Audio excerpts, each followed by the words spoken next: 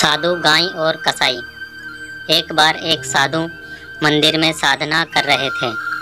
उनकी आँख खुली तो उन्होंने देखा एक गाय उनके आगे से भागकर मंदिर के पीछे छुप गई। काफ़ी भयभीत थी और थोड़ी देर बाद उसके पीछे पीछे एक कसाई भी अपने हाथ में तलवार लेकर वहाँ पहुँच गया। अब वह कसाई साधु से पूछता है, बाबा जी, क्या आपने यहाँ एक गाय को आते देखा है? साधु कसाई के हाथ में तलवार देखकर समझ गया कि आज मैंने गाय के बारे में बता दिया तो गाय का अंत निश्चित है। साधु बड़ी दुविधा में था क्योंकि झूठ वह बोलता नहीं और किसी पशु को मरते हुए भी नहीं देख सकता।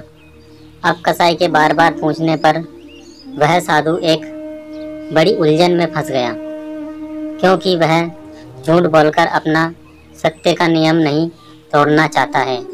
और गाय को अपनी आँखों के सामने मरते हुए भी नहीं देखना चाहता। इस दुविधा में छुटकारा पाने के लिए साधु ने मौन रहना उचित समझा, लेकिन कसाई भी अपनी बात पर टिका रहा। साधु के जवाब न देने पर वह वहीं बैठ गया। अब साधु ने सोचा, ऐसे ये जाने वाला नहीं है। तो उन्होंने अपना साधु संत वाला दिमाग चलाया। इस बात पर जरा ध्यान दीजिएगा। साधु अपनी आँखों की ओर इशारा करके बोला, जिन्होंने देखा है, वह बोल नहीं सकती।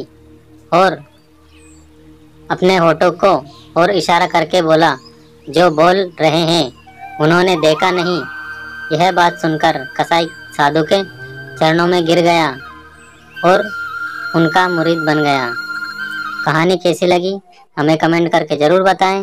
वीडियो अच्छी लगी हो तो वीडियो लाइक शेयर और हमारे यूट्यूब चैनल को सब्सक्राइब ज़रूर करें। धन्यवाद।